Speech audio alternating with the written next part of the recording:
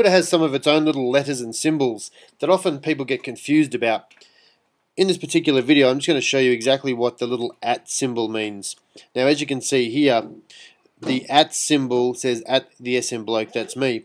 Now, Art of the Spa has written a message to me via the at symbol. Now, what this means is that all of the Art of the Spa's followers will be able to read this message because it's public. Means she's written it on her wall, she's directed it at me, but everybody else can read it. Now, the good thing about doing that is that, let's say, for instance, you want to give some advice to a particular follower on Twitter. You could do it through a direct message, but nobody else will see that advice. If you do it through the at symbol, means that everybody else can see that advice. Now, whether they want to take that advice or not is up to them.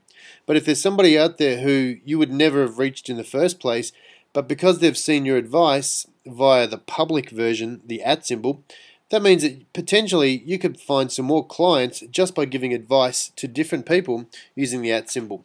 So I hope that made that pretty clear. Always use the at symbol when you want people to see what you're writing about. Okay, hope you got something out of that really quick video.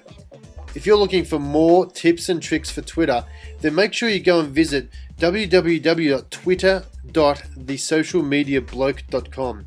I've got another 15 videos, all really quick, under three minutes, with some awesome power packed Twitter tips and tricks and some third party applications that will blow you away. Now, if you want all of them together, all you need to do is go straight to that website. As I said, www.twitter.thesocialmediabloke.com. That's where you'll get them all.